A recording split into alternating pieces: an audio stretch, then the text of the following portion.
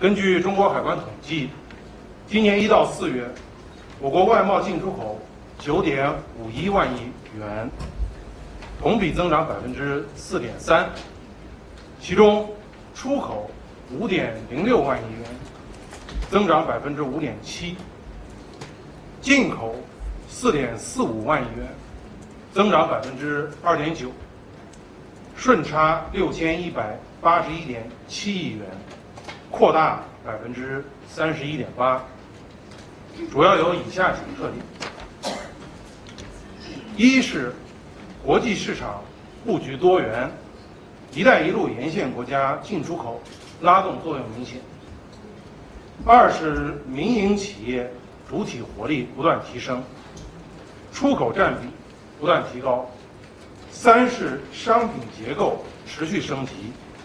机电。劳动密集型产品出口增长，四是贸易方式继续优化，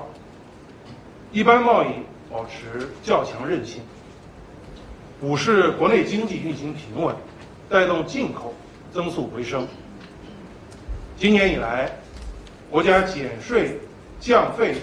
等一系列政策措施加快落地，国民经济运行总体平稳，开局良好。尽管一些国际组织下调了对全球贸易增长的预期，单边主义、贸易保护主义抬头，我国出口面临一定的下行压力，但我国外贸总体稳中有进的发展势头没有改变。